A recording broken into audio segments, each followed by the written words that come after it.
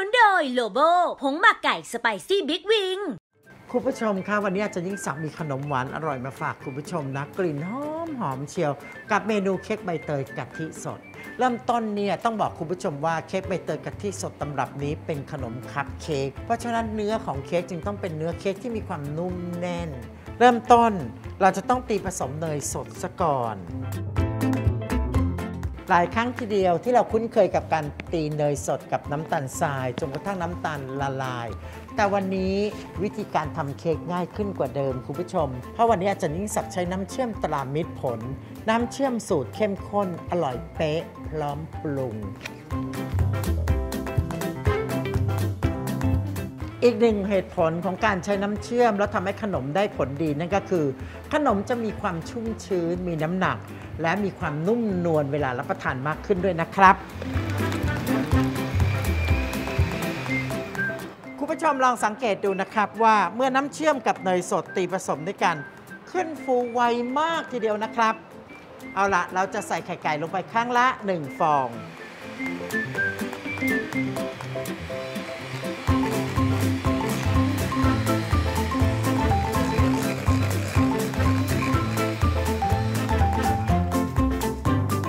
มื่อส่วนผสมของไข่เข้ากันดีกับเนยและน้ำเชื่อมแล้ว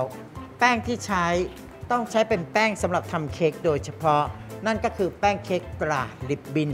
ใส่ลงไปทั้งหมดเลยนะคุณผู้ชม ตามด้วยผงฟูเกลือป่นเสริมไอโอดีน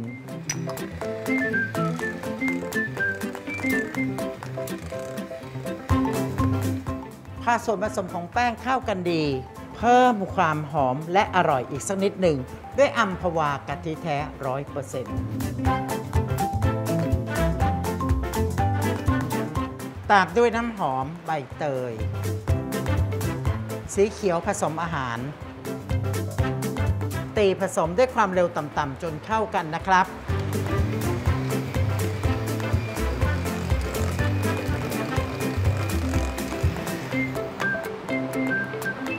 ส่วนผสมได้แล้วเราตักลงถ้วยนะครับ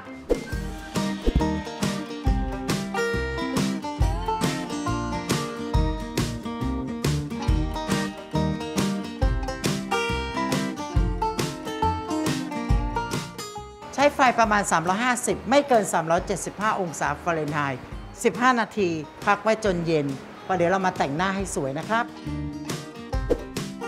เค้กสุกแล้วนะครับ ตอนนี้เรารอให้เค้กของเราเย็นสนิท ตอนนี้เรามาเตรียมบัตเตอร์ครีมกัน บัตเตอร์ครีมสีแดงจะต้องอร่อยด้วยกลิ่นหอมๆ นั่นก็คือสตรอเบอรี่ฟรุตเบดพ p ี r a t i o n ตรา Nature Taste นะครับ สีผสมอาหารสีแดงสตรอเบอรี่ครับประเดี๋ยวเราจะได้บัตเตอร์ครีมสีแดงสดสำหรับบีบเป็นดอกไม้ และเดี๋ยวเราก็ต้องเตรียมผสมสีเขียวสักนิดหนึ่งสำหรับเป็นใบไม้นะครับ เราก็เตรียมบัตเตอร์ครีมนะคุณผู้ชมทำฐานหน่อย ถ้าหากคุณผู้ชมมีเวลา เราก็จะทำแบบดอกเล็กๆนะคุณผู้ชมนะ แต่ถ้าคุณผู้ชมชอบความอลังการก็ดอกโตๆ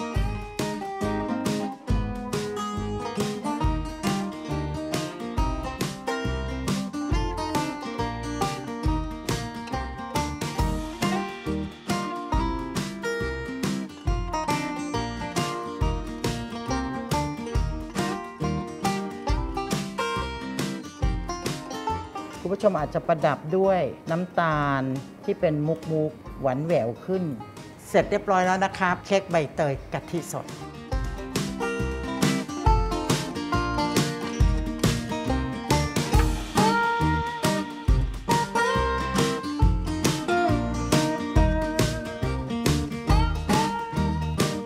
ต่อไปนี้คุณผู้ชมก็จะได้ชมขนมอร่อยอีกหนึ่งอย่างนะครับ จากอาจารย์เมีและก็น้องนานา ขนมปังมันเทศสูตรนวดด้วยมือนะครับ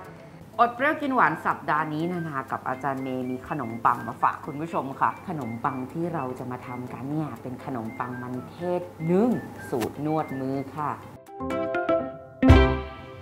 ช่วงอร่อยโดนใจสนับสนุนโดยผงวุ้นกานางเงือก วันนี้เราขอเสนอเมนูเต้าหวยนมเปรี้ยวกับเยลลี่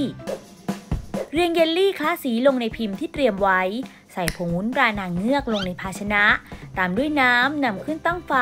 คนตลอดเวลาจนกระทั่งส่วนผสมเดือดทั่ว เติมน้ำตาลทราย คนจนส่วนผสมเดือดอีกครั้งแล้วปิดไฟ เติมนมเปรี้ยวคนให้เข้ากัน เกร็ดความรู้การทำวุ้น การเติมนมเปรี้ยวในขั้นตอนสุดท้าย จะช่วยรักษาคุณค่าทางอาหารและรสชาติของนมเปรี้ยวไม่ให้สูญเสียไป เทส่วนผสมที่ได้ลงในพิมพ์ที่มีเยลลี่เตรียมไว้จนเต็มพิมพ์นำเข้าแช่เย็นจนวุ้นทรงตัวดี พร้อมเสิร์ฟค่ะกับเมนู เต้าหวยนมเปรี้ยวกับเยลลี่ เมนูโดนใจจากผงวุ้นตราหนางเงือก